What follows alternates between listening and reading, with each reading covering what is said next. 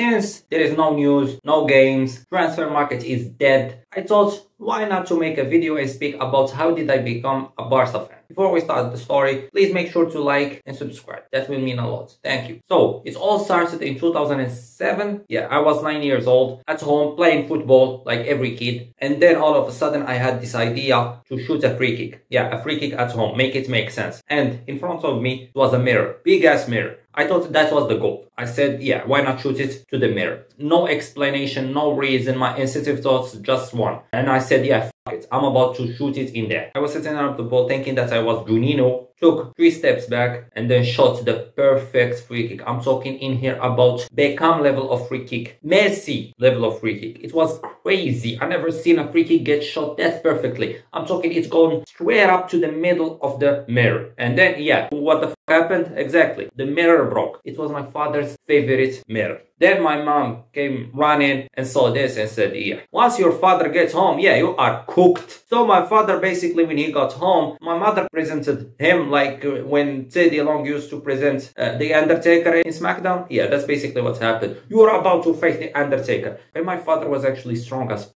he was built like Suge Knight, strong with nothing. Bro didn't hit the gym once in his life, and he's strong. I don't understand what the his genetics are. So he goes home and my tactics were that let me go sleep. So my father when he gets home, he can't wake me up. You know, that's dumb tactics. My father woke me up. My father was so angry, he started hitting me with like Batista bombs, RKOs, F5s, I'm talking people, elbows, everything. All he had left in him that he didn't do is that Jeff Hardy finisher, jumping from above the building. He left me on 1 HP. Then I sat in the corner of the room. That night was El Clasico. And also he was a big, big Real Madrid fan. He was probably more of a Real Madrid fan than Florentino Perez. So yeah, I was sitting in the corner, sitting there so angry, not sad. You know, when you are so mad that you start getting angry from the inside, not the outside. In my mind, I was screaming. I was so angry. I was punching walls, but I was doing nothing. Basically sitting in there while he turned the TV and he starts watching El Clasico. At that time, I wasn't a fan of any team. I was a little bit fan of AC Milan, but I was more a fan of the players. For example, I was a big fan of Zidane, Ronaldinho, Kaká, Maldini, Nesta, and because lots of these players played at Milan, that's why I became a Milan fan. But Barcelona, I didn't care that much. So I was sitting in there watching the game with him, and all of a sudden my father gets so angry so quickly for no reason. They can miss a pass and he starts screaming at that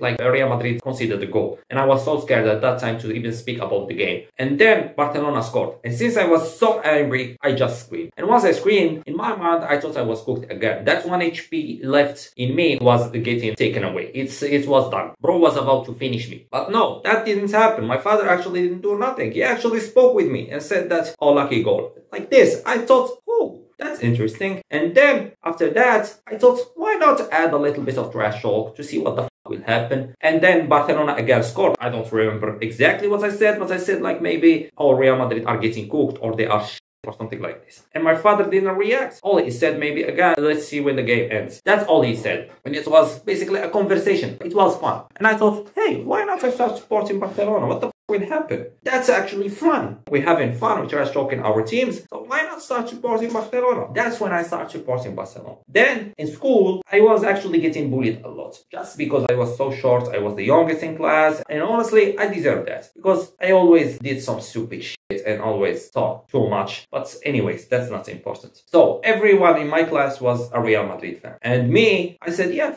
it. Let me say that I'm a Barca fan. They all laughed at me. Seriously, I didn't care. And then one day we decided that we will watch the game all together of El Clasico. And honestly, that was perfect. I don't remember what game it was, but I remember Barcelona winning that night. And I was trash talking all of them and nothing happened. No one bullied me. So yeah, Barcelona actually made me have fun watching football. That's why I started supporting Barcelona because I like to trash talk first trash other teams. And honestly, that era from 2007, 8, something like this to 2015 was actually the best era to be a Barca fan. Yeah, I was cooking motherfuckers left and right. No one can talk to me about Barcelona. They were top of the world. They had the best players. They were going crazy every year. And then after that, I'm getting cooked right now. I made this channel to talk about Barcelona. I speak more about Real Madrid than Barcelona. Because Barcelona ain't doing shit they're getting cooked every week and I'm getting cooked with them. Have you seen my comments, brother? Everyone is cooking me. But I believe that, that time again will change and that's probably Barcelona will start cooking again so I can trust short motherfuckers.